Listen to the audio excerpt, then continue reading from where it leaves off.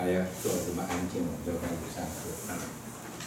那么刚才我们谈了一个很重要的一点，就是临卦跟乾卦的不同呢，是在于呢，临卦是实践的来说，那实践，那我们就一直通过爱人，啊，这个在爱人的行动表现上。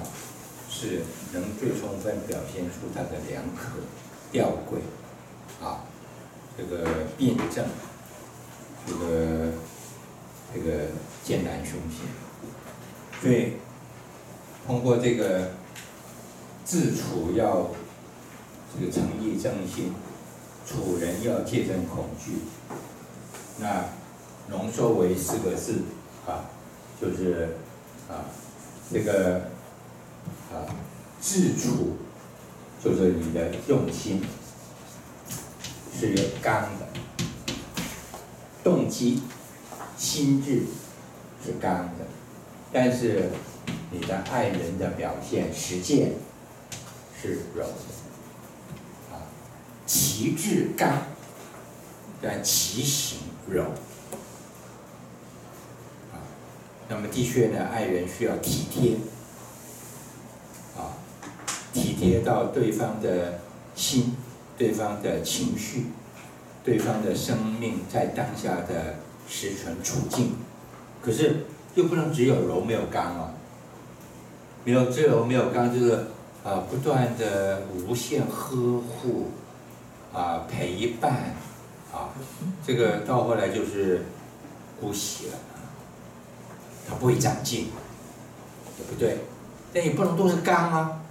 都刚刚这边都是坐在一边指责，坐在一边这个挑毛挑毛病，坐在一边不满，根本也受不了，对不对？这两者质两用重，怎么样？刚柔之间呢？刚刚好。啊，柔不一定是指的柔而不刚，柔不如说是表现出来是富有弹性的。啊，该刚。则刚，该柔则柔，这才是真正的刚，这也才是真正的柔。刚是指的根本的理想原则，柔是指的这个理想原则的弹性运用。啊，那这个叫奇形柔啊，刚是直的，啊，柔是曲的，对不对？这样。好，于是在这六个这个爻里边啊，我们就要看看分布一下啊。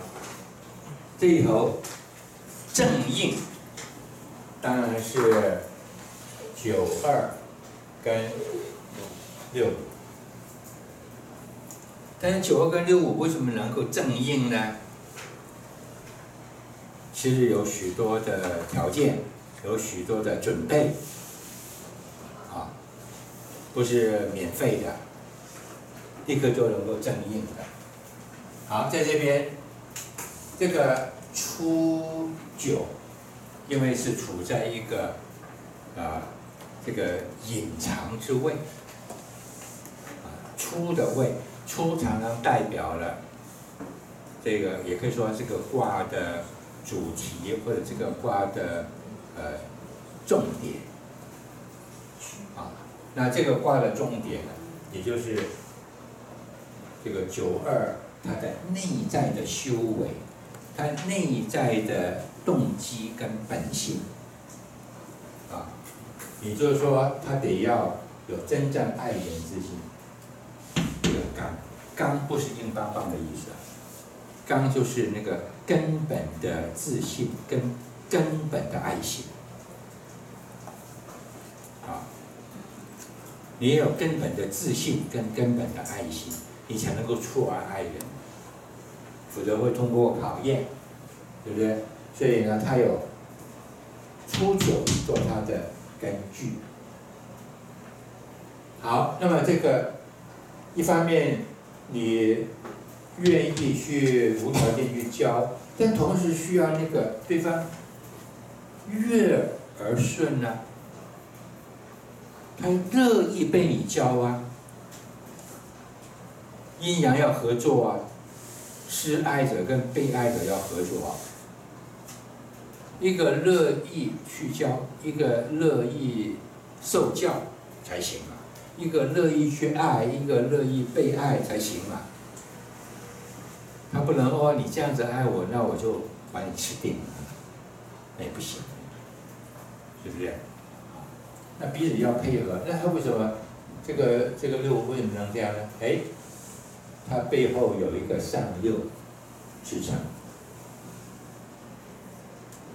这个上位啊，他常常处于格局之外，是个将消之位，啊，可是所谓的将消，我们也不一定要负面解释，也可以说，它超越了那个存在的格局，它变成在一个形而上的。的地位，所以上爻也常常呢代表了天、天理、理想，啊，这个啊鬼神、神灵，啊，那也可以是人背后的信仰所在，背后的知识所在，啊，那么也就可以说，初九是九二的。动机本性，上九是，呃，上六是六五的内在的信仰，于是他们才能够呢有正应。至于中间两个爻，因为都是浮动不定的位置，啊，那么这个，因此他们这边是荣获有差错的啊。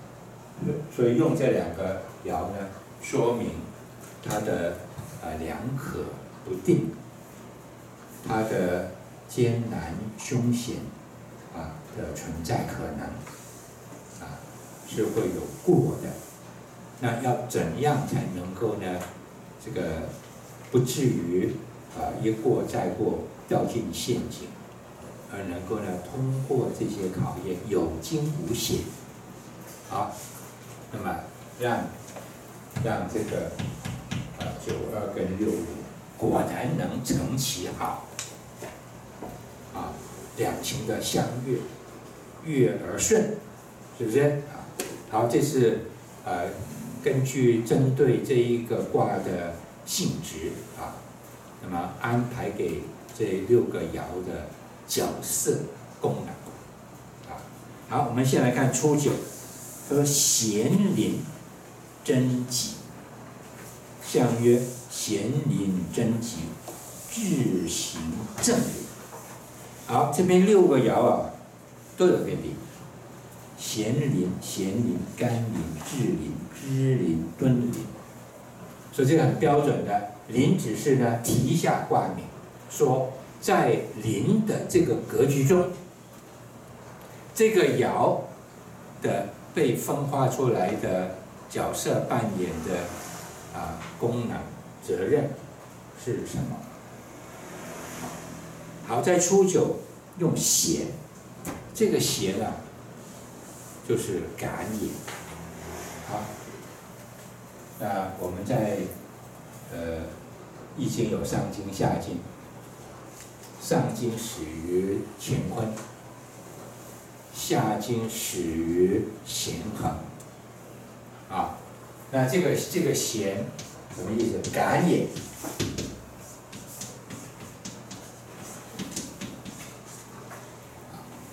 那为什么不写感，是写咸呢？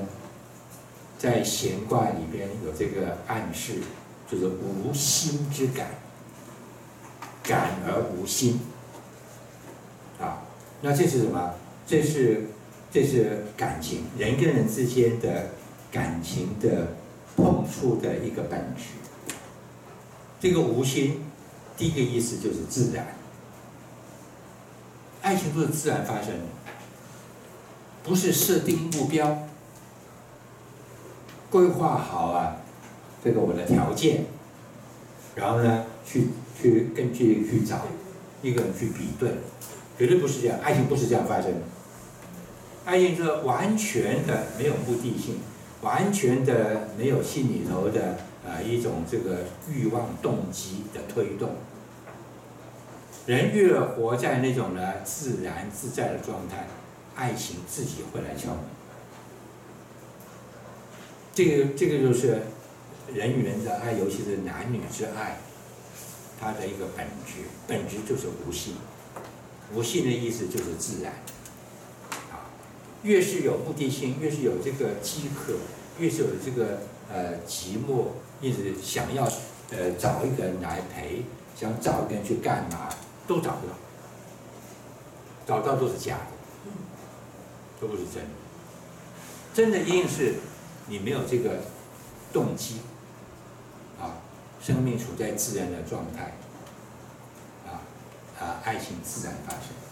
可是同时也因为这种缘故啊，正因为无心，正因为自然，所以呢，它也不长久。为什么？自然生命的。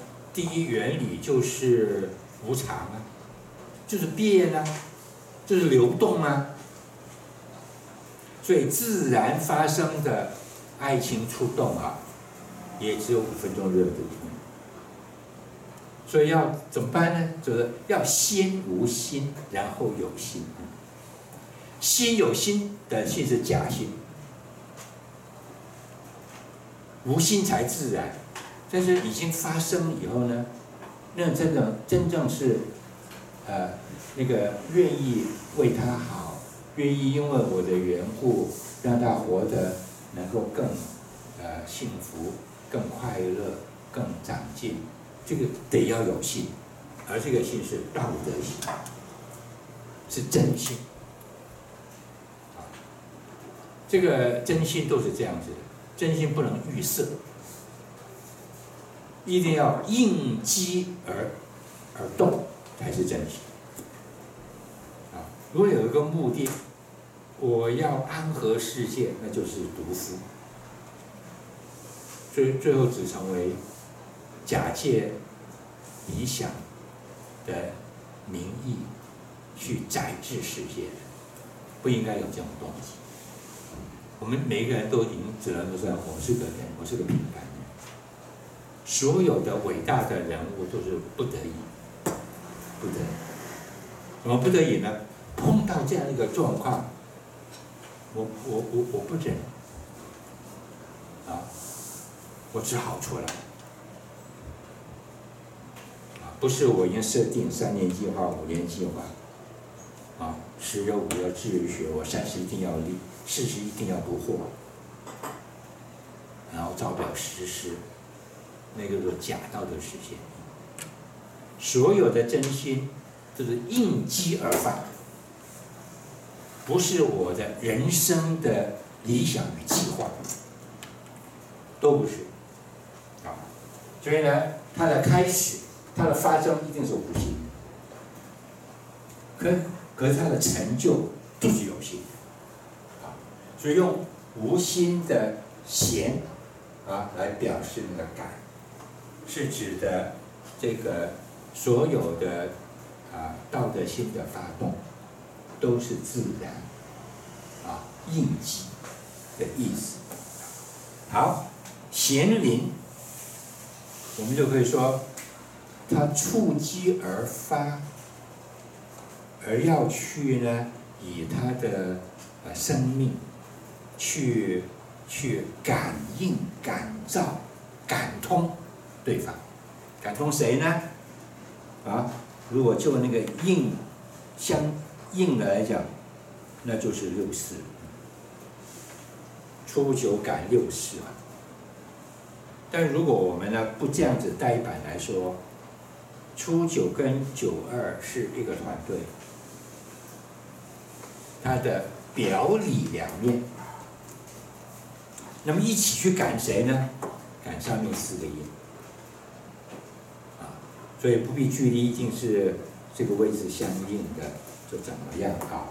啊，当然也不是不能这样说，但这样说啊有一点点拘泥，们要更要放大一点来讲，啊，好，这个时候要怎样才能急？真才能够急，真。这个真有两层，一层就是无意，没有动机，只有纯心而没有动机，啊，这个叫被动的主动。我有这个主动博爱众生之志，但落到现实中，完全没有任何针对性的动机。有针对性，就把自己这套硬套在别人身上，别人根本不要你爱，我需要有人被我爱呀，你怎么可以不答应我呢？那就是糟蹋人，利用人，满足你自己的以为理想，其实是虚荣心。所以呢，同时要有心，同时又要无心，有存心。无动机，这才是真正的真。能够这样真，才会急。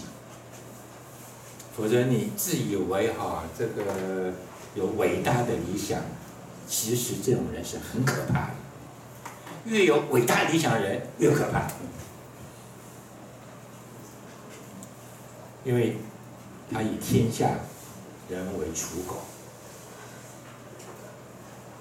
是不是？把别人当他的棋子来玩弄，所以要真啊。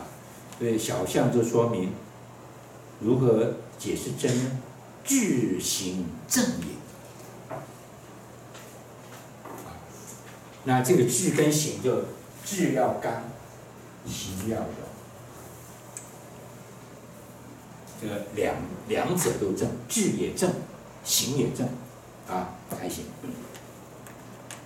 好，九二就秉持初九这样的一个内在的心灵的状态，啊，他的纯心，他的态度，啊，他还是叫贤灵，吉无不利，相曰贤灵，吉无不利，未顺命也。哎，九二跟初九有什么不一样？初九在潜藏之位，纯粹的内在纯心跟态度。九二就开始出而应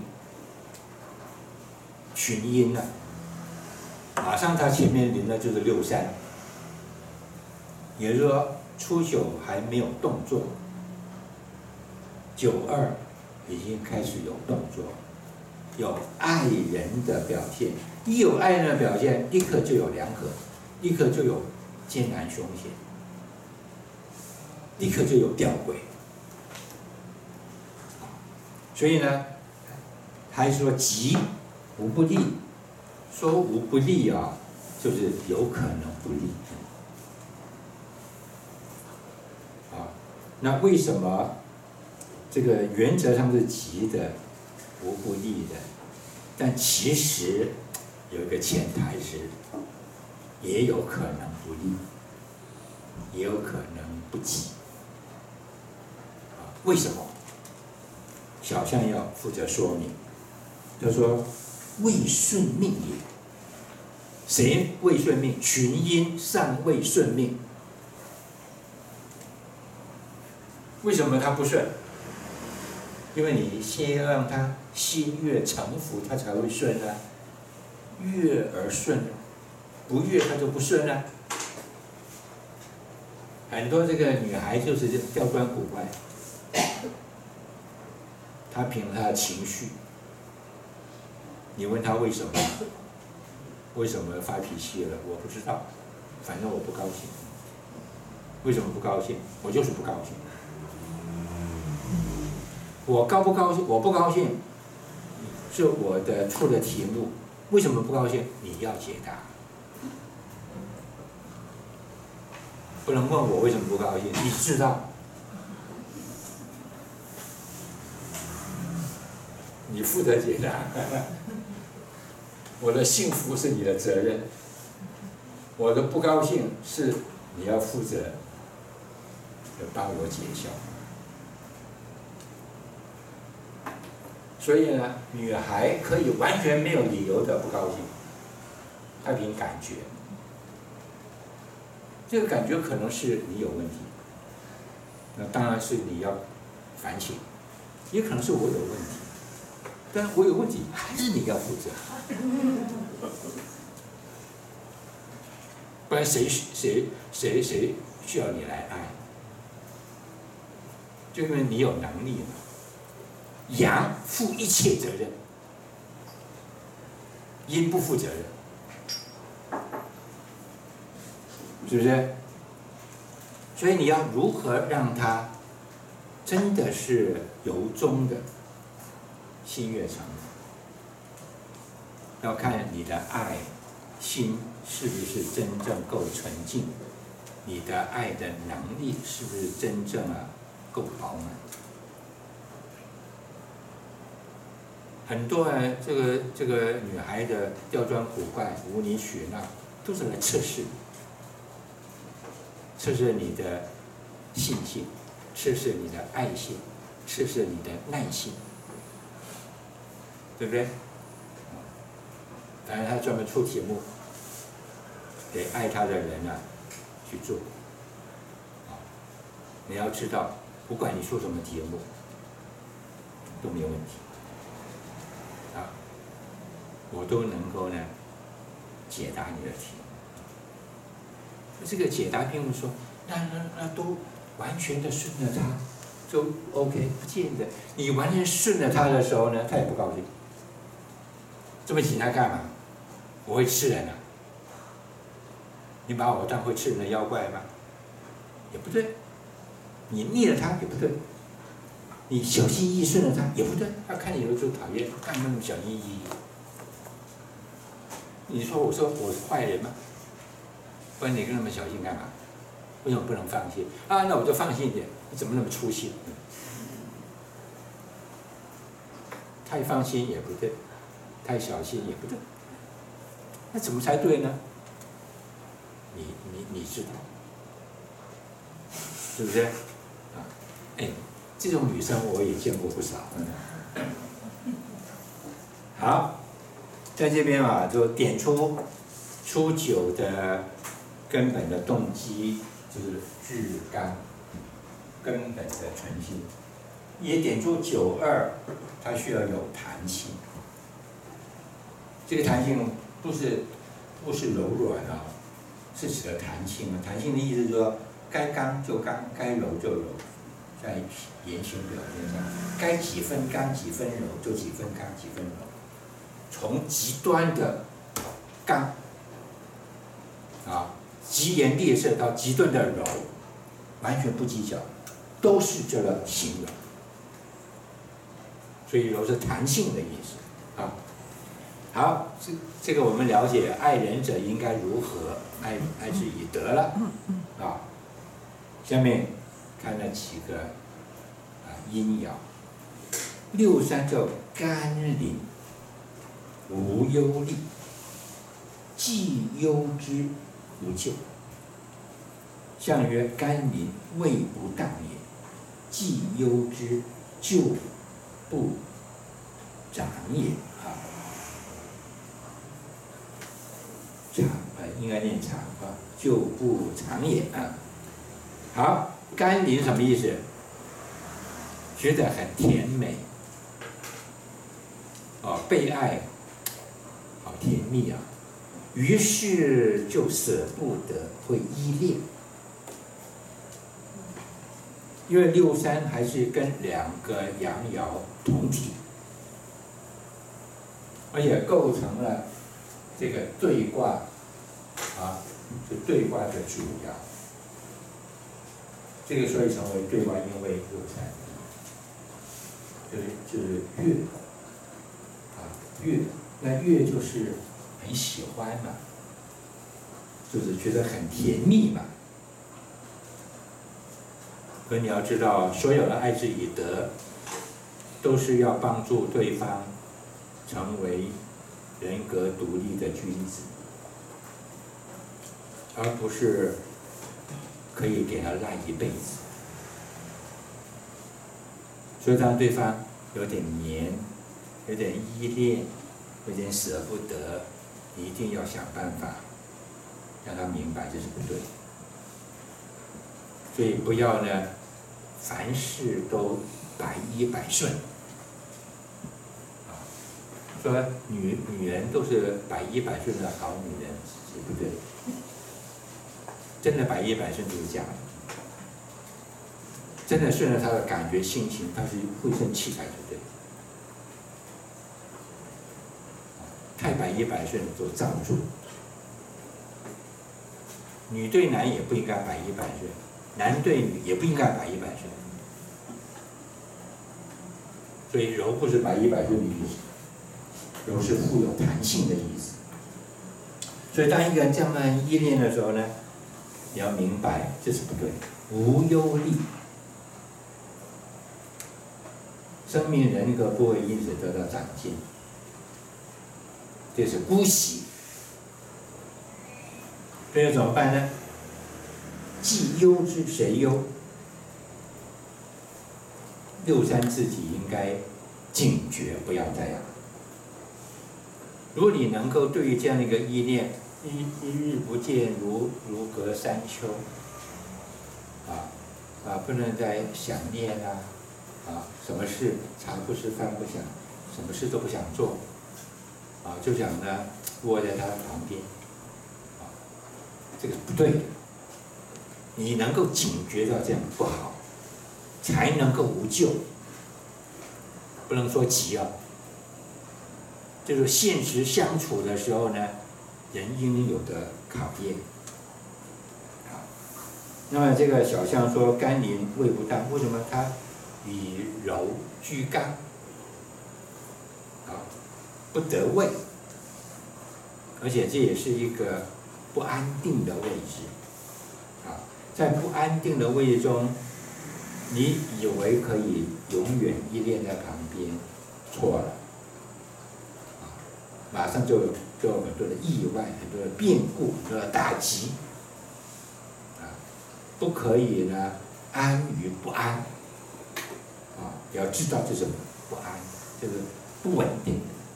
所以，如果你能够呢警觉这一点，虽然有救，不会太严重，啊，你可以知过改过。那么，在这个呃情爱的相处中，都难免会一度掉进这样的陷阱，啊，但是没有关系，啊，你你有这个经验，你就会有这个警觉。好，六四至灵无咎，相曰至灵无救，未当也。好，六四跟六三虽然都是不定的位，但是有有点不同。六三是位，六四不位。而且六三是进爻，进爻就是有和上面三个阴爻呢去比附的倾向，也就是说那个心是比较阴而缺阳，会比较缺那种呢自立的意志，就想找个人依赖依赖，对不对啊？六四是个退爻。所以有往下卦这个接近的倾向，也就是比较有受教的倾向。当然，我们也可以说，它跟初九应，比较能够感应到初九之德。啊，那六三无所应，它跟上六并不是一阳一阴。所以呢，反而是不安定的，啊，所以有问题。至灵，智者来也，啊，他知至灵就是说和这个下面的初九九二，那尤其是跟初初九是可以有一种呢互相的对应，啊，知道初九是来爱我的。虽然有时候该疾言厉色，他会疾言厉色，我会明白，他是为我好，是不是？好，这样可以补救。好，所以六三六四呢，稍有一点差异，它都有些不安定，也不妨把六三六四视作一体，一不小心就会依恋，忘记了自己应该从爱的关系中啊，去走向自立。啊，好，现在六，那叫知礼，大军之仪，吉。相曰：大军之仪，行中之谓也。知就是很明白，完全明白。这个初九九二，这时候相应的这个九二，制造九二来是是对为我啊着想，啊，知道他是对我爱之以德，啊，那我也很明明白，欣然了这个接受。不会有什么样的疑虑，不会有什么样的误会，啊，能够完全配合，不愧为大君，因为五是一个君位，啊，不愧呢是居于五的位置，能够呢这个反应都能够恰当，所以这才是吉的。六三六四不能说吉，只能说无咎。还有忧才能够无咎，因为初三的时候忧了，啊六三的时候忧了，到六四的时候呢就可以无咎，嗯，好，然后呢六五是可以，因为有大军之意，所以急，啊，小象说明为什么急，因为行中，行中道，中道就是啊，并不依靠，也并不拒绝。啊既没有过，没有不及，没有过干，没有过柔，好，那所以说能够刚刚好。所以呢，六九二跟六五是正写阴跟阳的啊，这个互相配合，成其呢相爱啊。可是其实都有很多的周折。好，上六。是六五背后的支撑，上六叫敦礼，吉，补救。相曰：敦临之极，志在内也。敦敦厚的意思。为什么上六可以叫做敦厚呢？正因为它不不纠缠在。下面的这些格局里头，它有个超然的一个立场，因此呢，这个啊就不受这些现实的起起伏伏的干扰，比较能够呢回到他的初衷真心啊。像孟子说，白天的时候呢，纳入到各种格局。难免有许多的这个这个跟人的相争，啊，与皆为垢，日以心斗。所以怎么办呢？到了晚上，离开了这些呢，跟别人之间的啊的互动，那个心就能够安静下来。这个时候叫夜气，让那个躁动的心沉淀沉淀。到什么时候呢？能够啊沉淀的最恢复它原来的初衷，就是天刚亮，睁开眼睛刚醒的时候那一刻，那个时候叫平淡之气啊。这个其好恶与人相近也者积息啊。那么这个时候就是人回到他的初衷。生命得到沉淀，就回到他的敦厚诚朴的状态。所以这个时候呢是急的，不有很多的实际反应，不会有很多的纠缠牵扯，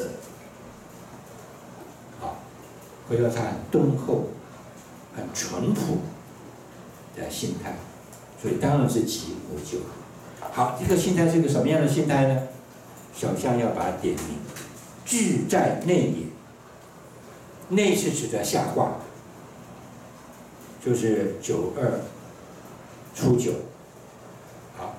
他现在乐于去接受呢，初九九二这个阳的来改。